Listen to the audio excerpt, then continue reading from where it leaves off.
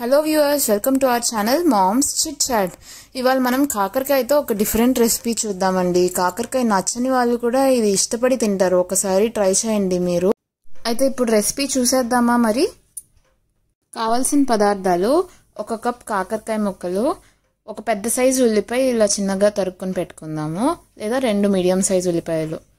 Fifty grams బెల్లం తీసుకుందాం అండి ఇలా కొట్టి పెట్టుకుందాము. చిన్న పీసెస్గా కాలుగుతానికి ఈజీగా ఉంటుంది. ఒక నిమ్మపండు సైజు చింతపండు తీసుకుందాం. చింతపండు ముందుగా నానబెట్టుకోవాలండి. తాలింపు దినుసులు తీసుకుందామండి. శనగపప్పు మినపప్పు ఆవాలు జీలకర్ర రెండు ఎండుమిర్చి.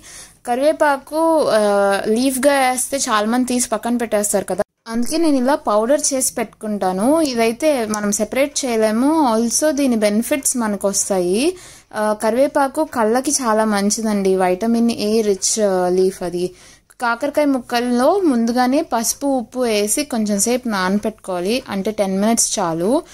దీని ఇలా చేయటం వల్ల దీనిలోని చేదుతనం కొంచెం తగ్గుతుంది. ఇది నీరు కూడా కారుతుంది. ఆ నీరులో చేదు వచ్చేస్తుంది అనమాట తర్వాత మనం కూరలో వేసుకునేటప్పుడు ఇది పిండితే ఆ నీరంతా వచ్చేస్తుంది బయటికి. నెక్స్ట్ ఒక గిన్నెలో తాలింపు వేసుకుందాము. టూ స్పూన్స్ ఆయిల్లో ముందుగా చెప్పిన తాలింపు దినుసులన్నీ వేసేసుకుందామండి. ఈ రెసిపీ మా అమ్మమ్మ నేర్పించింది నాకు. ఇది వాళ్ళ ఊర్లో చాలా ఫేమస్ కృష్ణా జిల్లాలో ఒక పల్లెటూరు. చాలా ఫేమస్ అండి. తాలింపులో ఇంగు వేసుకుందాము. పప్పులు కొంచెం ఫ్రై అవ్వనివ్వాలి. గోల్డెన్ బ్రౌన్ కలర్లోకి వచ్చేదాకా ఫ్రై చేసుకోవాలి. మేము మా ఇంట్లో నూపప్పు నూనె వాడతామండి. కూరలకి అలాగా. తాలింపు వేగాక ఆనియన్స్ వేసుకుందాము. ఆనియన్స్ దోరగా వేయించుకోవాలి. ఇలా ఆనియన్స్ వేగేటప్పుడు పసుపు లైట్గా ఉప్పు వేసేసుకుందాము. సాల్ట్ వేసుకుంటే ఆనియన్స్ త్వరగా మగ్గుతాయండి. మగ్గాక కాకరకాయలో పసుపు ఉప్పు వేసి నానపెట్టాము కదా చూడండి అది ఇలా పిండితే నీరు వస్తుంది అనమాట గట్టిగా పిండేసి వేసుకోవాలి కాకరకాయ ముక్కల్ని.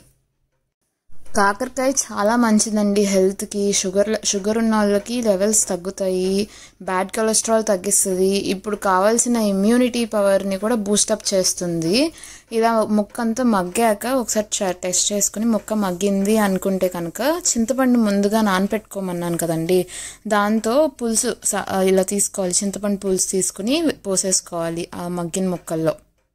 చింతపండు పులుసు వేసుకున్నాక ముందుగా కొట్టి పెట్టుకున్న బెల్లం వేయాలి.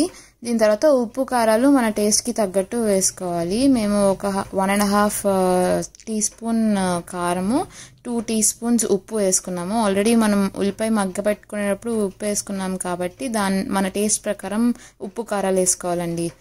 దీన్ని ఇప్పుడు ఒక four to five minutes boil చేయాలి వాటర్ని వాటర్ uh, ఈ పులుసు మనకి థిక్గా కావాలి అంటే బియ్య పిండిలో కొంచెం వాటర్ కలుపుకొని పోసుకోవాలండి. జస్ట్ ఒక టేబుల్ స్పూన్ బియ్యం పిండి at least half glass of water కలిపేసుకొని పోసుకుంటే థిక్గా అవుతుంది. మరిగాక మనకు మరుగుతూ ఉండే కొద్దీ థిక్నెస్ పెరుగుతుందండి ఈ పులుసు. ఫైవ్ టు సెవెన్ మినిట్స్ టోటల్గా మనము ఈ వాటర్ ఉడికించుకుంటే పులుసు రెడీ అయిపోతుంది. ఈ పులుసు ఆరే కొద్దీ కొంచెం థిక్ అవుతుంది. సో ఈ కన్సిస్టెన్సీలో మనం ఆఫ్ చేసేసుకుంటే తినేసరికి కరెక్ట్గా వస్తుందండి. కాకరకాయ పచ్చి పులుసు రెడీ ఇప్పుడు సర్వింగ్ బౌల్లోకి తీసేసుకొని వేడివేడి అన్నంతో తినేస్తే ఇది సూపర్గా ఉంటుందండి. తప్పకుండా ఈ రెసిపీ ట్రై చేయండి. ఫ్రెండ్స్ అండ్ ఫ్యామిలీ మెంబర్స్కి షేర్ చేసి నా ఛానల్కి సబ్స్క్రైబ్ చేయడం మర్చిపోవద్దు. Thank you for watching